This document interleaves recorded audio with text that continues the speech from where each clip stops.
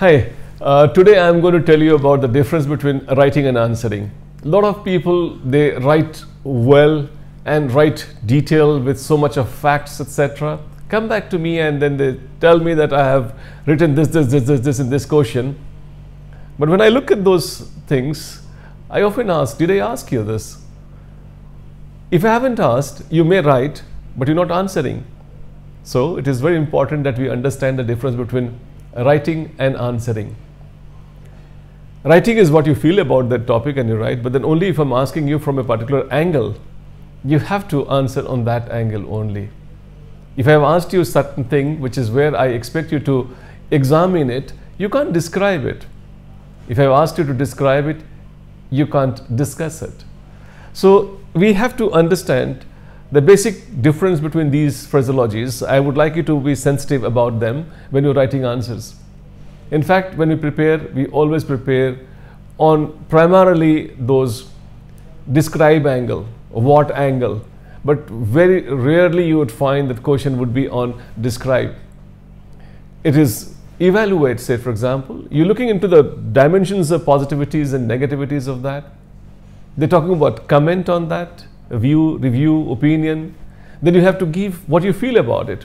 But important thing, they have asked the same question to everybody who's writing this examination.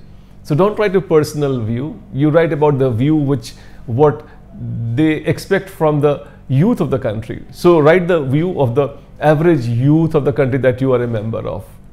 Sometimes they use the word critical. Sometimes the critical comes with analyze, critically evaluate, enumerate, critically describe. So whenever the word critical comes, a lot of time we forget about who we are and then we just suddenly become like an editorial writer, sub-editor, and then we become cynical critical. Don't forget who you are. Even if they're asking you to criticize something, remember you the hope of the country. So your criticism has to be with a lot of positivities. I suppose I would call it as constructive criticism. It can't be cynical criticism that you can give. So what I was trying to tell you today is that please understand what is the demand of the question in terms of these command words that we have got. Is it narrate? So I should not elucidate. If it is elucidate, I would not account for. If it is account for, I would not do a sketch. If it is a sketch, I would not do elucidate or illustrate for that matter. So once you are very clear about these command words, your answer would actually go on the same pitch where the demand has been met. And that way you would be able to write an answer which fetch you great marks.